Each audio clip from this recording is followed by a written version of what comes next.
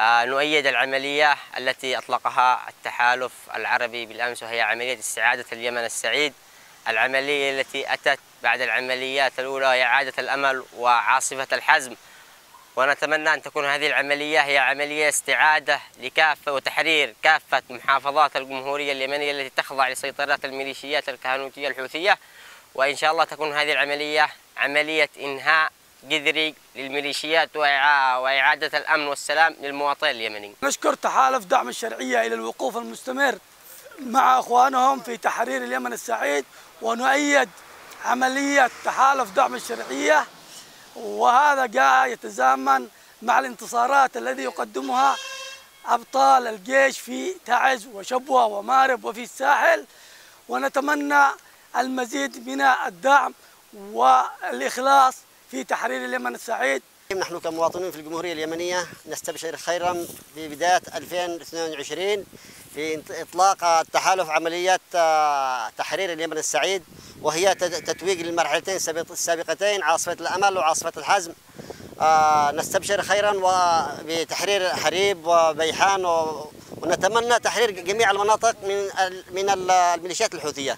نستبشر خيرا بإعلان التحالف دمج قوات العمالقة بالجيش الوطني.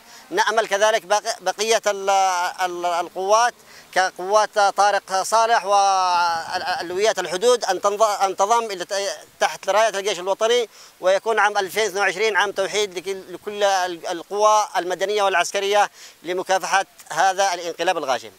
مع إطلالة العام الميلادي الجديد 2022 ومع تحرير محافظة شبوة من قبل الجيش الوطني والعمالقة ومسنودا بالمقاومة الشعبية أطلق التحالف العربي تحرير اليمن السعيد من قبضة الكهنوت من قبضة المجرمين الحوثة السلالية الذين مدعومين إيرانيا هؤلاء الفرس الذين قتلوا كل جميل في الشعب اليمني ونشكر التحالف على إطلاقة تحرير اليمن السعيد من هؤلاء الروافض وذلك استكمالا للعملية